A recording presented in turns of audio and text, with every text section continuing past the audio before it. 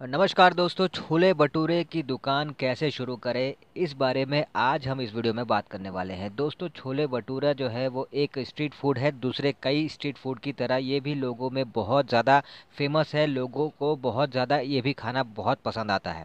तो अगर आप इस बिज़नेस में आना चाहते हैं, इस बिज़नेस को स्टार्ट करना चाहते हैं, इसकी दुकान शॉप शुरू करना चाहते हैं तो आपको क्या करना होगा? इस बिज़नेस को स्टार्ट करने के लिए कितना इन्वेस्टमेंट लगेगा प्रॉफिट कितना देखने को मिलेगा लोकेशन कैसी होनी चाहिए? क्या क्या सामान आपको लगेगा? लाइसेंस कौन सा लगेगा? और भी ढेर सारी बातें इस वीडियो में, इस बिज़नेस के बारे में हम जानेंगे। तो वीडियो को देखते रहिए। पर आगे बढ़ने से पहले एक रिक्वेस्ट करना चाहते हैं कि अगर आप चैनल पर नए आए हैं तो प्लीज़ सब्सक्राइब ज़रूर कर ले, ताकि आगे मैं बिज़नेस रिलेटेड जो भी वीडियोस डालूँ, वो आप तक बड़ी ही आसानी से पहुँच जाए। और साथ ही दोस्तों, अगर आपको मेरी दी गई ये इन्फॉर्मेशन अच्छी लगे तो वीडियो को लाइक ज़रूर कर लीजिएगा।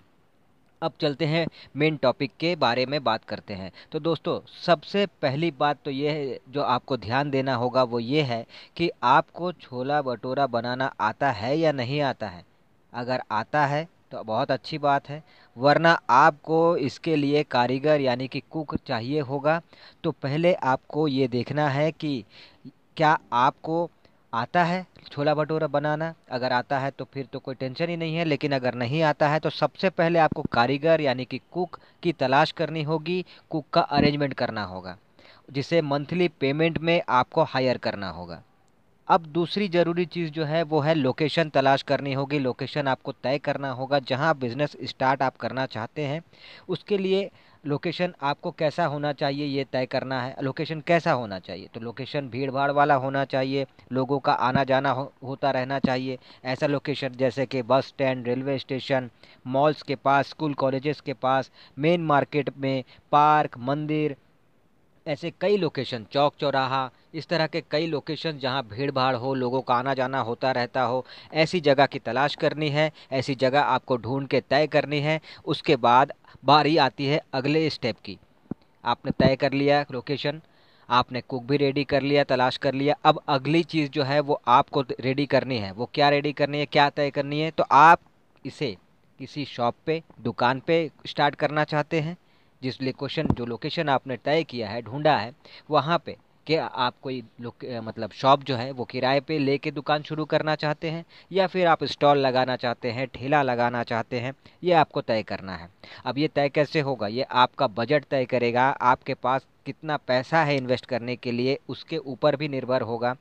तो आपको ये तय करना है कि आप ठेले पे शुरू करना चाहते हैं, स्टॉल लगाना चाहते हैं, या फिर रेंट पे एक दुकान किराए पे लेके आप इसकी शुरुआत करना चाहते हैं। अब आपने ये भी तय कर लिया। मान लीजिए कि आपने स्टॉल का तय किया या शॉप रेंट पे लेके उस पर स्टार्ट करने का तय किया, ठेले पे तय किया, ये आपने तय कर लिया। अब अब बारी आती है कि भाई क्या क्या सामान आपको चाहिए होगा इस बिज़नेस के लिए, क्योंकि बर्तन वगैरह और भी बहुत सारे चीज़ होते हैं जो आपको चाहिए होगा। तो वो क्या क्या चीज़ें होती हैं? तो देखिए कुछ बर्तन आपको लगेंगे, गै, जैसे कि मतलब कढ़ाई हो गया, पतीले वगैरह हो गए, और भी कुछ बर्तन हैं। साथ ही प्लेट्स आपको लगेंगे। अब आप स्टील के प्लेट्स रखना चाहते हैं या फिर वो जो पेपर प्लेट्स आते हैं, थर्माकोल प्लेट्स आते हैं, कई तरह के प्लेट्स आते हैं तो उसमें से कौन सा प्लेट आपको रखना है? इस तरह की कई चीज़ें हैं वो आपको तय करनी है। मतलब आपको अरेंज करना है, ख़रीदना है। साथ ही आपको गैस चूल्हा लगेगा। खाना आप जो बनाएँगे, छोला भटूरा जो बनाएँगे, वो किसमें बनाएँगे? तो उसके लिए गैस, चूल्हा, स्टोव, ये सब आपको जो है व्यवस्था इसकी करनी होगी। साथ ही जो है आपको कस्टमर्स जो आपके शॉप में, दुकान में, स्टॉल पे, ठेले पे जो भी आएँगे, उनको आप बैठने की सुविधा दीजिए। ये बहुत ज़्यादा आपके लिए कारगर साबित होता है। क्योंकि कई जगह आप देखिएगा, वैसे तो लोग खड़े खड़े भी खा लेते हैं, लेकिन अगर आप उन्हें बैठ के खाने की सुविधा दे रहे हैं तो वो ज़्यादा संतुष्टि भरा होता है। तो आपको कुछ चेयर टेबल्स की भी व्यवस्था करनी होगी, वो भी आपको ख़रीदना होगा। वो प्लास्टिक वगैरह का जो आता है, वो भी आपको ख़रीदने होंगे।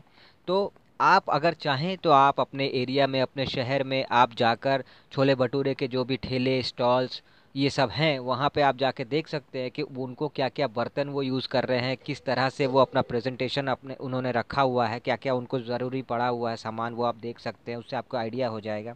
ये हो गया। अगली चीज़ जो है वो है आप जो दुकान स्टार्ट कर रहे हैं, उसका आपको एक अच्छा सा नाम तय करना है, नाम रखना है।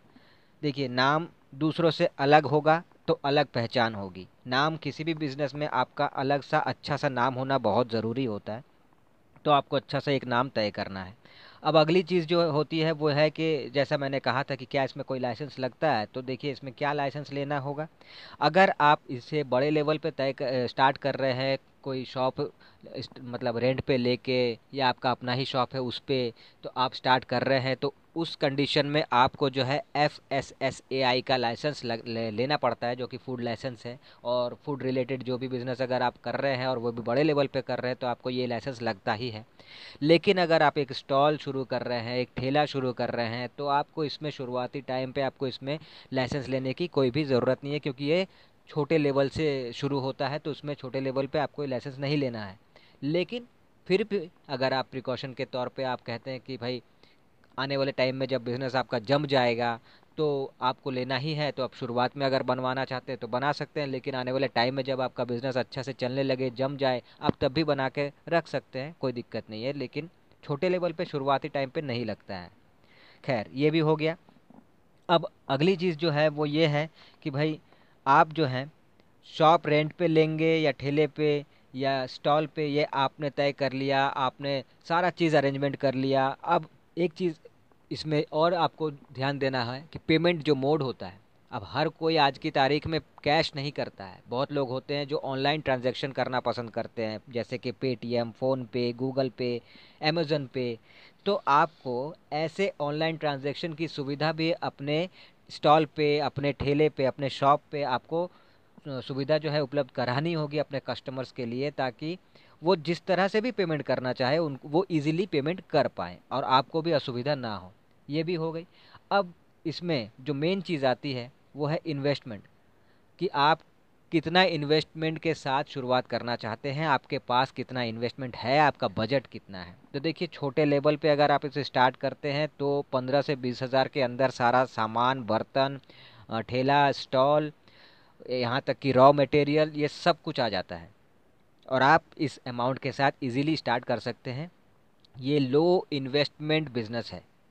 अगर आप इसे थोड़ा सा अपग्रेड करते हैं, कोई शॉप रेंट पे लेके आप स्टार्ट करते हैं तो देखिए शॉप रेंट पे लीजिएगा तो उसका जो एडवांस में पैसा देना पड़ता है, वो हो गया, और मंथली जो उसका रेंट हो गया, वो एक्स्ट्रा तो ये एक्स्ट्रा पैसा अगर आप जोड़ दीजिए तो भी आप पच्चीस से तीस हज़ार, पैंतीस हज़ार तक का बजट लेकर अगर आप उतरते हैं तो शॉप रेंट पे लेके आप कर सकते हैं, अगर आप स्टॉल या ठेले पे शुरू करते हैं तो आप पंद्रह से बीस हज़ार के अंदर सारा सामान सब कुछ कंप्लीट करके आप स्टार्ट कर सकते हैं।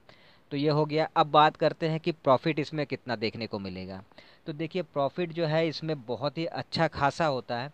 अगर आप मान के चलिए तो भी मैं आपको एक मंथली के हिसाब से बता रहा हूँ तो 25 से तीस हज़ार शुरुआती टाइम में आप इस बिज़नेस से इजीली कमा सकते हैं। पर जैसा मैंने कहा था कि लोकेशन, प्राइम लोकेशन हो अच्छा खासा भीड़ भाड़ा वाला एरिया हो, और फिर क्या होता है कि मतलब बिज़नेस जो है वो आपको जमने थोड़ा सा देने टाइम लगता है। कुछ टाइम लगेगा। थोड़ा सा टाइम दीजिए बिज़नेस जमने दीजिए। उसके बाद जो है आपको अच्छा खासा इन्वेस्ट मतलब जो इन्वेस्टमेंट आपने किया है, उससे चार गुना, पाँच गुना आपको पर मंथ इनकम आपको देखने को मिलेगा।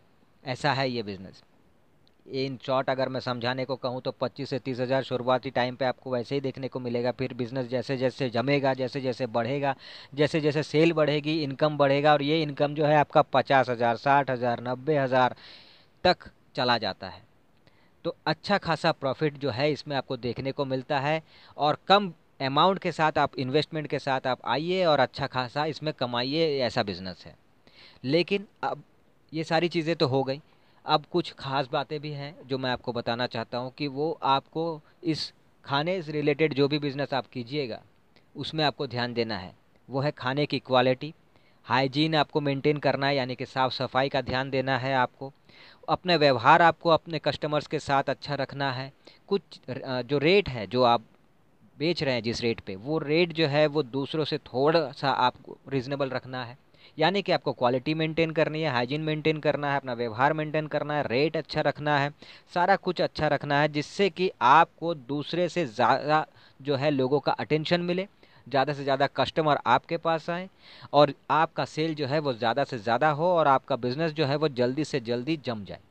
इन चीज़ों का ध्यान रखना है। एक चीज़ और आपको बता दूँ, क्योंकि ऑनलाइन का ज़माना है तो आप जोमेटो स्विगी जैसे ये जो ऑनलाइन कंपनियाँ हैं, जो आपको मतलब फ़ूड प्रोवाइड करती हैं, एक एक जगह से बेच के मतलब एक बेचता है, एक खरीदता है तो इनके ज़रिए आप अपने बिज़नेस को रजिस्टर करके ऑनलाइन भी अपने बिज़नेस को आप रन कर सकते हैं और इसके ज़रिए भी एक एक्स्ट्रा इनकम आप कमा सकते हैं। मतलब ऑफलाइन जो कस्टमर्स आपके पास आएँगे, वो तो आएँगे ही। साथ ही जोमेटो स्विगी के ज़रिए भी जो कस्टमर्स आपको मिलेंगे, जो इनकम उससे आपको होगा, वो भी आपको फ़ायदा पहुंचाएगा। तो वो भी आप ऐड ज़रूर करें। उसके ज़रिए भी अपने बिज़नेस को रन ज़रूर करें, अपने प्रोडक्ट को बेचें। तो उससे भी आपको एक एक्स्ट्रा जो इनकम है, वो आपको मिलेगा। तो दोस्तों, ये है एक छोटा सा तरीका जिसके ज़रिए आप जो है छोले भटूरे का बिज़नेस जो है बहुत ही आसानी से स्टार्ट कर सकते हैं और अच्छा खासा मंथली इनकम आप कर सकते हैं, अपने पैरों पे खड़े हो सकते हैं, अपना अलग पहचान बना सकते हैं। और जैसा कि मोदी साहब कहते हैं कि आत्मनिर्भर भारत तो आप आत्मनिर्भर बन सकते हैं, एक अच्छा सा इनकम जनरेट कर सकते हैं इस बिज़नेस के ज़रिए।